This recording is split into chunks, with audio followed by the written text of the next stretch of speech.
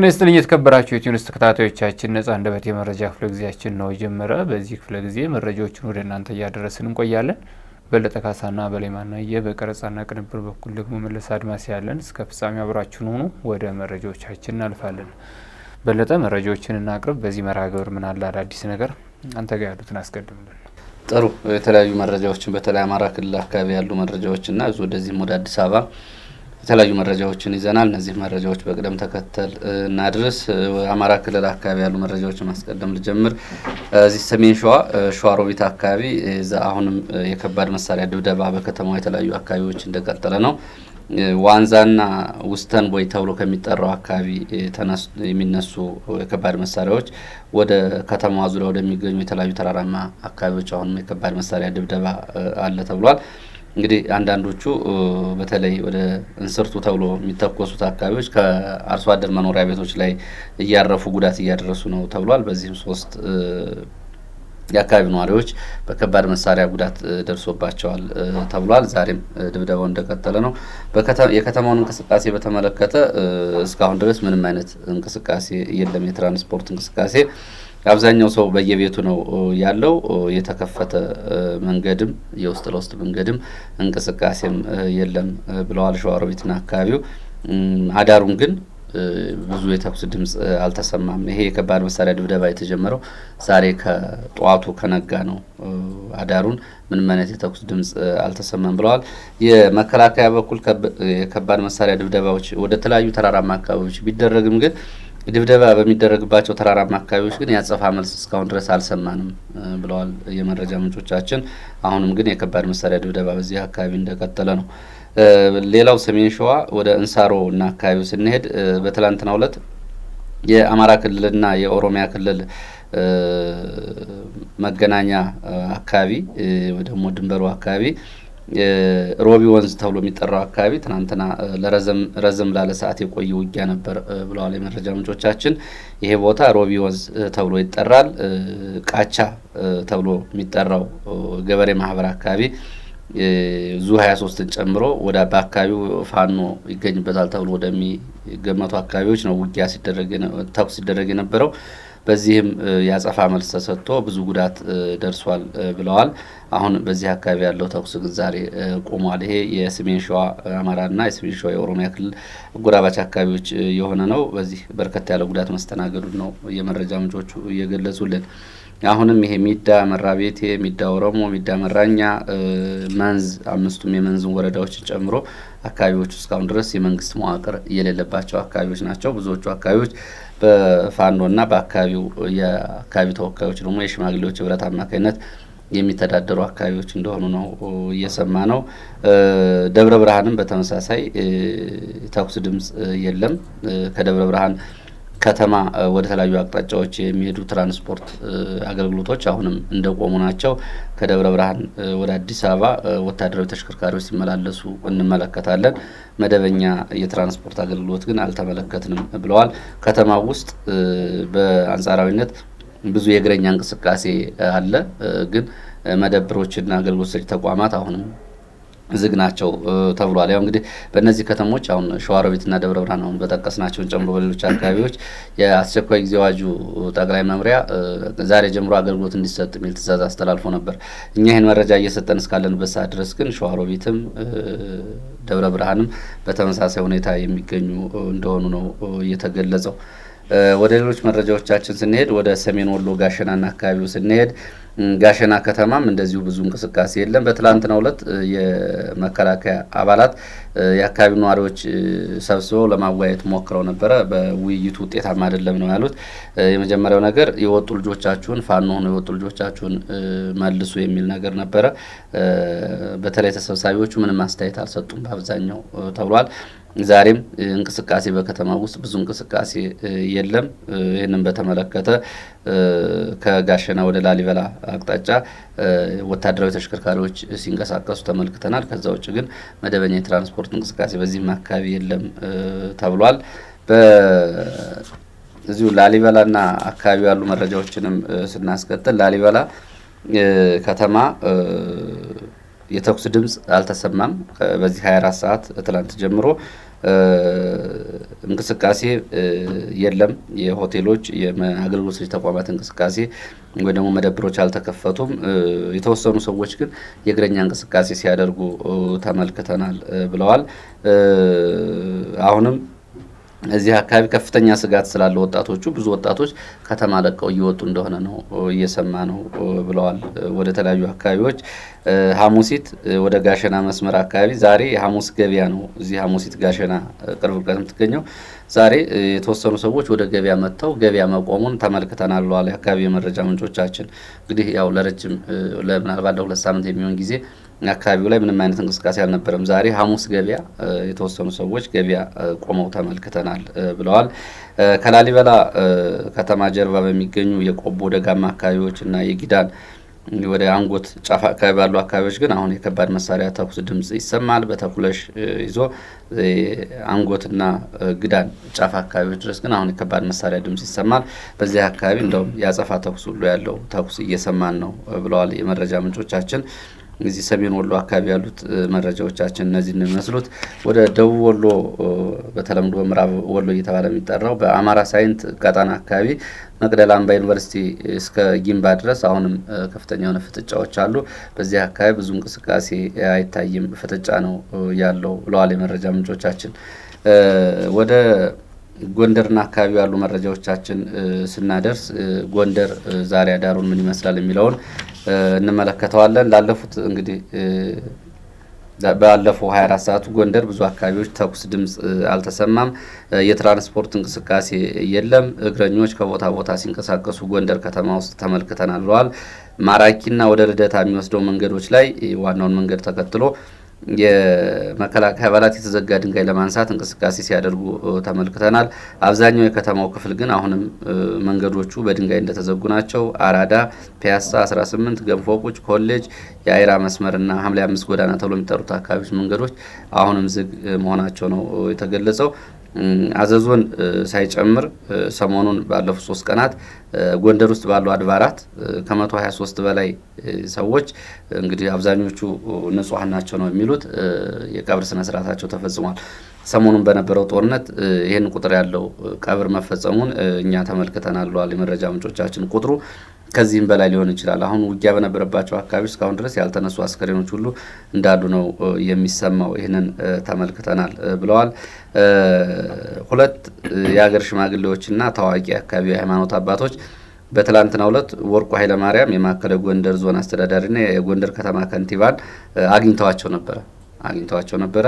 እንደ መረጃ ምንጮቻችን እነዚህ የአካባቢው ሃይማኖት ተጽዕኖ ፈጣሪ ሃይማኖት አባቶች ናቸው እና መከላከያን ከከተማ እንዲያስወጡ እና በጎንደርና በአካባቢው በተለይ በፍስለታ ጾም ያለው የሱባኤ አገልግሎት ጭምር መቋረጡ ምን ያክል ችግር ውስጥ እንደገቡ ይህንን ገልጸው መከላከያ ከከተማው እንዲወጣና የከተማው መደበኛ እንቅስቃሴ እንዲመለስ መጠየቃቸውን ነው የሰማ ነው። እንግዲህ እነዚህ ሰዎች ጉዳዩ ከነሱ አቅም በላይ መሆኑን ተናግረዋል። ይህንን ማስወጣትም ማስገባትም የኛ ኃላፊነት አይደለም የሚል ምላሽ መስጠታቸውንና ግን አሁን ባለው ሁኔታ ግን ከተማውን በተመለከተ ግን በብዙ አካባቢዎች ግን መከላከያ ወደ ካምፕ እንዲመለስ ጥረት እናደርጋለን ማለታቸው ተሰምቷል።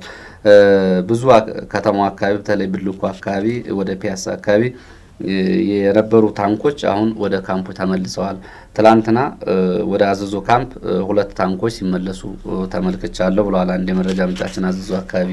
ሆኖም ታንኮቹ የሄዱባቸው መንገዶች አሁን በታንክ መጎዳታቸውን ነው መንገዱ አስፋልቱ የተሰማው። ከማራኪ ወደ አዘዞ የሚወስደው መንገድ ታንኮች የሄዱበት መንገድ ጉዳት ደርሶበታል ተብሏል። ጎንደር ሆስፒታል የግብአት እጥረት በማጋጠሙ እስካሁን ድረስ ለሕክምና አገልግሎት ፈላጊዎች በበቂ ሁኔታ አገልግሎት መስጠት እየተቻለ አይደለም። ሶስት ወላድ እናቶች ወደ ሆስፒታል መድረስ ባለመቻላቸው የሁለቱ ሕይወት አልፏል ተብሏል። አንዷ ሆስፒታል ደርሳ እሷን ማትረፍ ቢቻልም ግን ጽንሱን ልጁን ማትረፍ አልተቻለም ብለዋል የሆስፒታል የመረጃ ምንጮቻችን። ይሄ ባለፉት ሶስት ቀናት ጎንደር አካባቢ የሆነው ነው። ወደ አዘዞም ስንመጣ አዘዞ አካባቢ ዛሬ ማለዳውን ጥቂት ሱቆች ተከፍተው አይቻለሁ ብለዋል የመረጃ ምንጫችን።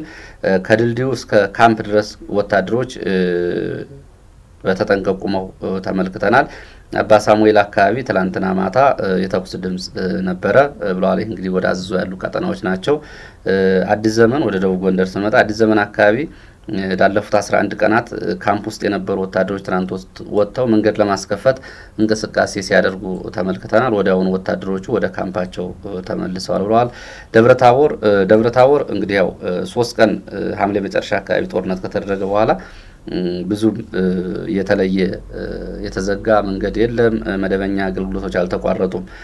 መደበኛ እንቅስቃሴዎች እንደተጠበቁ ናቸው። ትላንት የፋኖ አባላት በከተማው እየዞሩ የዋጋ ጭማሪ ባደረጉ ነጋዴዎች ላይ ቁጥጥር እንደሚያደርጉ እና ሰሞኑን ይህንን አካባቢ ላይ ያለውን ሁኔታ በመጠቀም የደም እንመልሳለን በሚል ግድያ በፈጸሙ ሰዎች ላይ ሽፍቶች ብለዋቸዋል። እነሱ የፋኖ አባላት እርምጃ ወስደዋል የሚል መረጃ ነው ያለው። እንግዲህ ደብረ ታቦርን በተመለከተ የመንግስት ሰዎችም ለመንግስት ሚዲያዎች የሚሰጧቸው መግለጫዎች አሉ።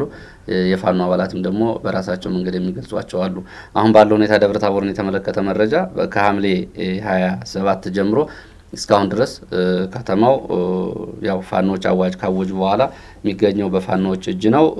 በከተማው ውስጥ እስካሁን ድረስ የተቋረጠ የመንግስት አገልግሎት የለም፣ የግል አገልግሎትም የለም። መደበኛ የትራንስፖርት እንቅስቃሴ ሁሉ አለ። ከደብረ ታቦር ተነስቶ ወደ ተለያዩ አካባቢዎች የሚሄዱ ተሽከርካሪዎች ዋናው መንገድ ወደ ጎንደርና ወረታ ባህር ዳር ካለው ውጭ ወደ ሌሎች አካባቢዎች ግን የትራንስፖርት እንቅስቃሴ መኖሩን ጭምር ነው መረጃዎች የሚገልጹት።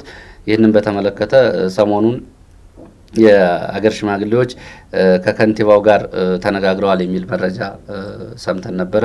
በጉዳዩ ላይ ምን እንደተነጋገሩ ግን አልሰማንም። አሁንም ከንቲባው በከተማው ላይ አስተዳደር እያስተዳደሩ እንደሆነ ለሚዲያዎች መግለጫ ይሰጡ ነበርና ይህም በተመለከተም ቅሬታ መኖሩን ነው። በአካባቢው በሌሉበት ሁኔታ ፋኖ ከፖሊስ አባላት ጋር ተጣምሮ ጸጥታውን እያስከበረ ባለበት ሁኔታ የከተማ ከንቲባ ይህንን መናገራቸው በሌሉበት ያሉ ለማስመሰል ነው የሚሉ ቅሬታዎች ሁሉ እንዳሉ ነው የተሰማው።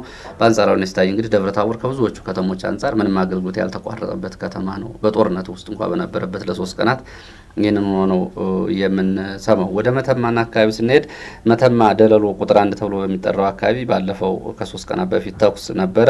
ትናንትና ገንዳው አካባቢ ሶስት ተከታታይ የመድፍ ድምጾችን መስማታቸውን የመረጃ ምንጮቻችን ገልጸዋል። አሁንም ከመተማ ከሱዳን መተማ ጎንደር የሚወስደው መንገድ አልተከፈተም፣ ዛሬ ይከፈታል የሚል ወሬ መስማታቸውን የመረጃ ምንጮች ገልጸዋል። ይህንም እየተከታተል እናቀርባለን። በዚሁ መስመር ቲሃ ተብሎ የሚጠራው አካባቢ መከላከያ የነበረው ካምፕ መከላከያ ሰሞኑን ወደ ጎንደር እና ወደዚህ መንቀሳቀሱን ተከትሎ ቲሃ ሽንፋ አካባቢ በሬ ተራራና በእውቀት ተራራ ተብሎ የሚጠሩ ሁለት ገዥ መሬቶችን ከሱዳን አካባቢ የመጡ የሳምሪ ታጣቂዎችና የቅማን ታጣቂዎች ተራሮቹን ተቆጣጥረዋል። መከላከያ የነበረበትን አካባቢና በተለይ በሽንፋ አካባቢ ሰሞኑን በዚህ አካባቢ ግጭት ሊቀሰቀስ ይችላል የሚል መረጃ እንዳላቸው መተማ አካባቢ ለኢትዮ ኒውስ ይህንን ያደረሱ የመረጃ ምንጮቻችን ገልጸዋል። ከአሁን በፊት በተደጋጋሚ እንግዲህ እነዚህ ከሱዳን እየተነሱ በዚህ አካባቢ ታጣቂዎች እንቅስቃሴ ያደርጉ ነበረ። ይህን እንደ መልካም አጋጣሚ በመጠቀም ወደ እነዚህ በሬና በእውቀት ተራራ ተብሎ የሚጠሩትን ሁለት ገዥ ቦታዎችን ይዘዋል የሚል መረጃ እንዳላቸው ገልጸዋል። አርማጭሆ አሁንም መንገድ ዝግ ነው። ዳባት ትናንትና ጀምሮ ያለው ተኩስ ዛሬም ይሰማል አልፎ አልፎ። አሁንም መንገድ ዝግ ነው ከዳባት ወደ ጎንደር። ደባርቅ በከተማው ውስጥ መጠነኛ እንቅስቃሴ አለ። አሁንም የተሽከርካሪዎች እንቅስቃሴ ባይኖርም ግን ሱቆችና ሆቴሎች ተከፍተው ተመልክተናል ብለዋል የመረጃ ምንጮቻችን። እንግዲህ ወደ ሌሎች መረጃዎች ስንመጣ በትላንትና ከምሽቱ ሶስት ሰዓት የጀኔራል ተፈራ ማሞ ባለቤት ወይዘሮ መነን ኃይሌ በፖሊስ ተይዛ መወሰዷን ጀኔራል ማሞ ጀኔራል ተፈራ ለኢትዮ ኒውስ ይህንን ተናግረዋል። ማታ ሶስት ሰዓት የፌዴራል ፖሊሶች መጥተው ነው ይዘዋት የሄዱት ብለዋል ጀኔራል ተፈራ። ለምን እንደሚወስዷትን በወቅቱ ጠይቀው ነበረ።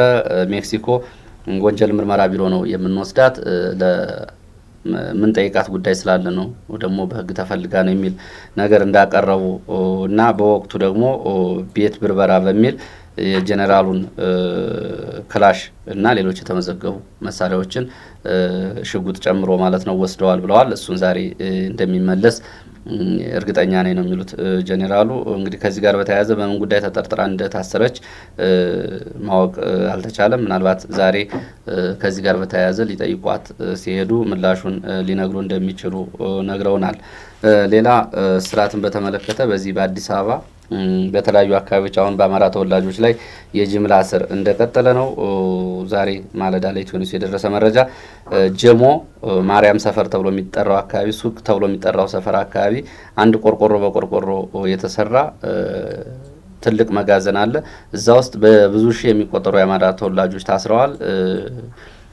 መጋዘኑ ሞልቶ ግቢ ላይም በርካቶች ይታያሉ ብለዋል። እነዚህ አካባቢ ከአዲስ አበባ ብቻ አይደለም ከአዲስ አበባ ዙሪያ ካሉ ከሰበታ እና ከአካባቢው ከተሞች እየተያዙ ነው የሚመጡት።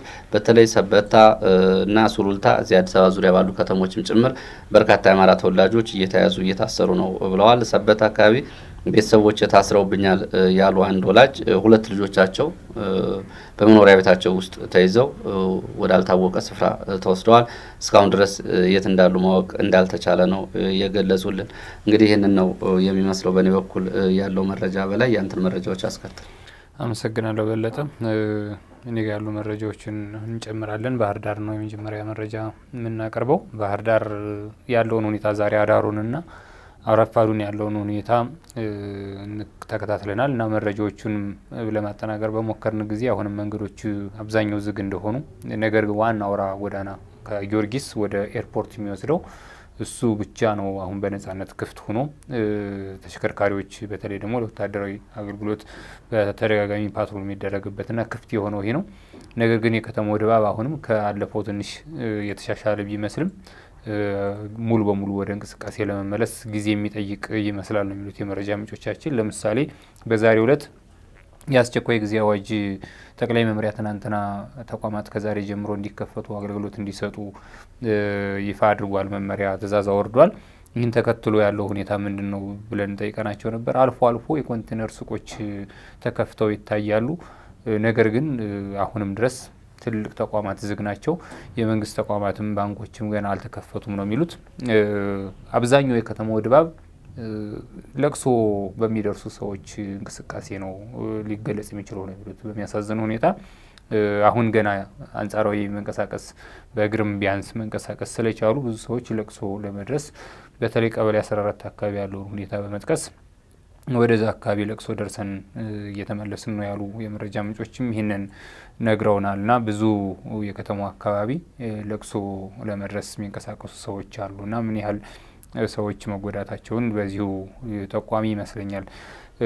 ከዚህ ባለፈ መንገዶቹ አሁንም ለመክፈት ጥረት እየተደረገ እንዳለ፣ ነገር ግን የውስጥ መንገዶች ቀርቶ ዋና ዋና መንገዶች እንኳን በወጉ ገና አለመከፈታቸውን የመንግስት መስሪያ ቤት እስካሁን ዝግ እንደሆነ አሚኮን በተመለከተ አሚኮ ለምሳሌ ገና ሰሞኑን ምንም አይነት ፕሮግራሞችን እየሰራ አልነበረም። ጋዜጠኞቹም ለመንቀሳቀስ አይችሉም ከቤታቸው ለመውጣት እንደ ማንኛውም ነዋሪ ዛሬ የተወሰኑ ጋዜጠኞች በጠዋት እንደገቡ ነገር ግን አብዛኞቹ አሁንም ከቤት ወጥተው ወደ ተቋሙ ለመንቀሳቀስ መንገዶች ዝግ በመሆናቸው እንደተቸገሩ የጠቀሱም አሉና ይህን ይመስላል አጠቃላይ ያለው። ሌሊቱን ግን አንድ ቦታ በተለይ ተክለ ሃይማኖት የሚባለው ወደ ፔዳ ጀርባ ተኩስ ሲሰማበት አድሯል። ምናልባት ሌሎች አካባቢዎች ላይ ካለው ሁኔታ አንጻር የተለየው ይሄ ነው። በብዙ የከተማ አካባቢዎች ምንም ተኩስ አይሰማም። ተክለ ሃይማኖት አካባቢ ከፔዳ ጀርባ ግን በዛሬው ዕለት ማታ ላይ ሌሊት ላይ ተኩስ ነበረ ብለዋል።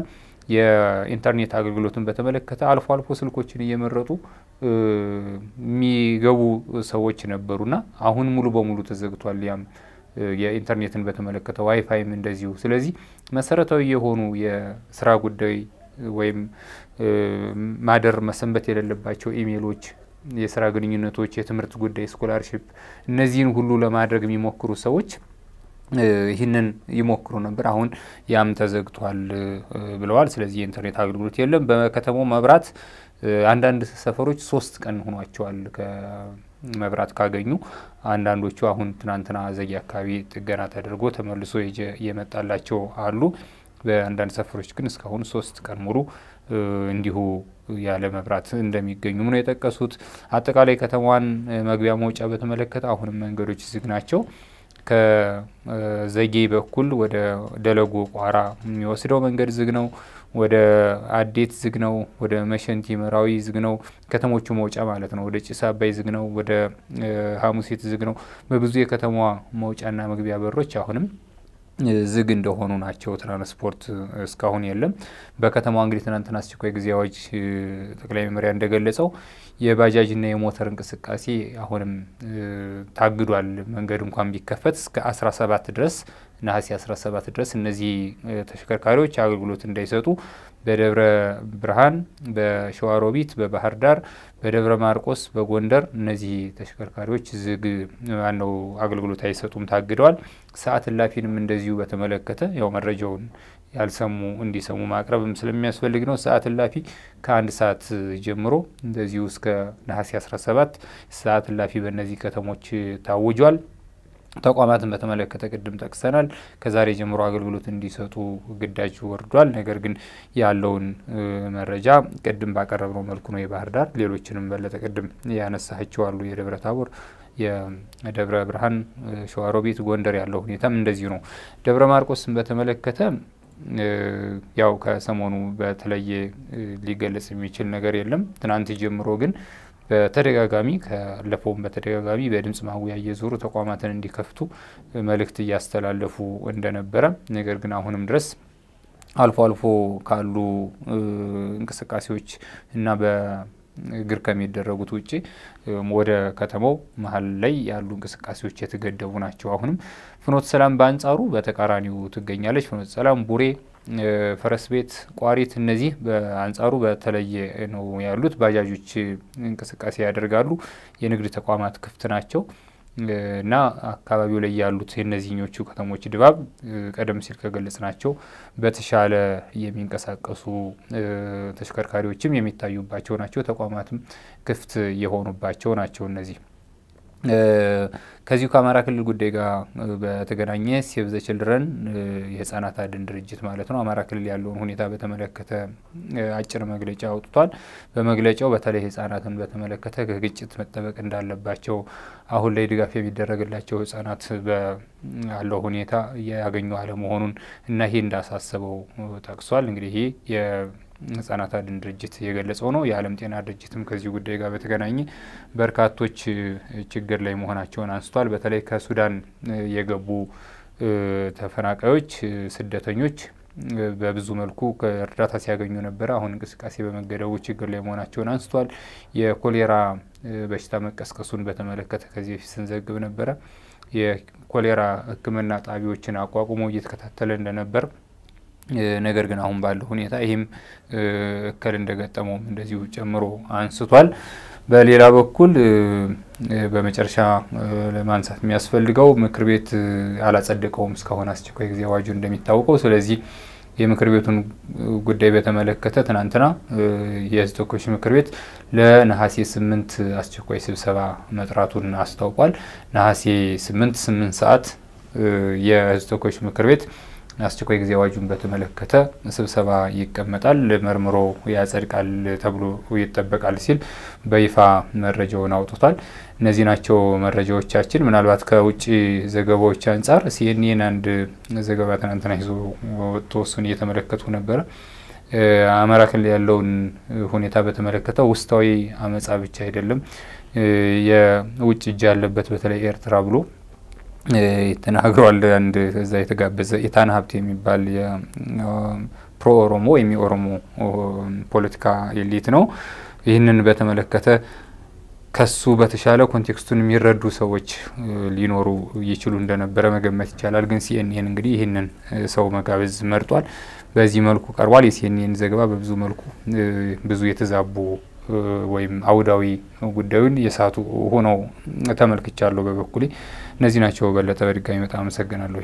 የተከበራችሁ ተመልካቾቻችን ነጻ አንደበት የዚህ ክፍለ ጊዜ መረጃዎች እነዚህ ናቸው። ሌሎች መረጃዎችን ይዘን እንመጣለን። እስከዛው ጤና ይስጥልኝ።